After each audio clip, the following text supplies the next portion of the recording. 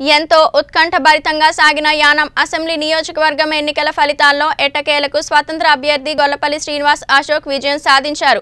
పుదుచ్చేరి అంతర్భాగమైన యానం అసెంబ్లీలో గత ఆరు దఫాలుగా మత్స్యకార సామాజిక వర్గానికి చెందిన మల్లాడి కృష్ణారావు విజయం సాధిస్తూ వస్తున్నారు. ఆయనను ఢీకొట్టే నాదుడే లేదన్న ఈ క్రమంలో ముప్పై ఏళ్ళ చరిత్రను ముప్పై ఏళ్ళ యువకుడు తిరగరాసి యానం గడ్డపై విజయకేతాన్ని ఎగురవేసి చరిత్ర సృష్టించాడు. ముఖ్యంగా తన ప్రత్యర్థి ముఖ్యమంత్రి అభ్యర్థి రంగస్వామికి ముచ్చెమటలు పట్టించి గొల్లపల్లి అశోక్ విజయాన్ని దక్కించుకున్నారు. దీంతో యానాం పరిసర ప్రాంతాల్లో సంబరాలు అంబరాన్నంటాయి.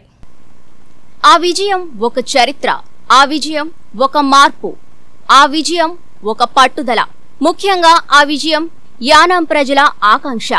ఇరవై ఐదేళ్ళ ఏకపక్ష పాలనకు స్వస్తి చెప్పి ఒక కొత్త రకం యువ రాజకీయ నాయకుడికి యానం వాసులు పట్టం కట్టిన ఘట్టమిది.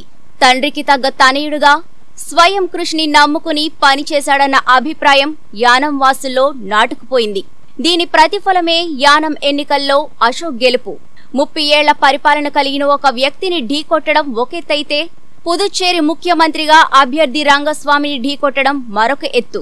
ఇన్ని పరీక్షలు ఒడిదుడుకులు బెదిరింపులను ఎదుర్కొంటూ విజయం సాధించడం సాధారణ విషయం కాదు.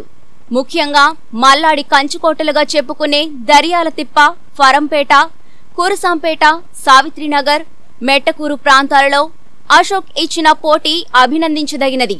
పడి లేచిన యువ కెరటంలా అనేక సవాళ్ళను ఎదుర్కొంటూ కౌంటింగ్ మొదటి రౌండ్ నుండే అత్యధిక దిశగా దూసుకుపోయాడు. చివరి పద్నాలుగు పదిహేను రౌండ్లలో రంగస్వామి గట్టి పోటీ ఇచ్చి మెజారిటీ సాధించినా అప్పటికే ఆధిక్యంలో ఉన్న అశోక్ విజయాన్ని తన ఖాతాలో వేసుకున్నాడు. మొత్తానికి యానం గడ్డపై ముప్పై ఏళ్ళ చరిత్రను ముప్పై ఏళ్ళ యువకుడు తన సమీప అభ్యర్థి రంగస్వామిపై విజయబావుట ఎగురవేసి రాష్ట్రంలో సంచలన విజయాన్ని నమోదు చేశాడు. దీంతో యానంలో నవశకానికి ఆ ప్రాంత ప్రజలు నాంది పలికారు.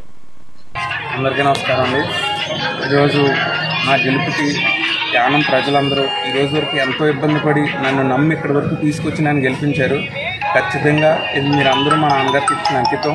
నేను మీ అందరికీ ఏ మాట ఇచ్చానో ప్రతి ఒక్కటి చేసి మీ అందరినీ ఏ మీరు ఏ విధంగా కోరుకున్నారో అన్ని విధాలుగా కూడా నేను మిమ్మల్ని ఉంచుతాను. ఖచ్చితంగా ప్రతి ఒక్కరి విజయం ఇది. నా ఒక్కరి విజయం కాదు.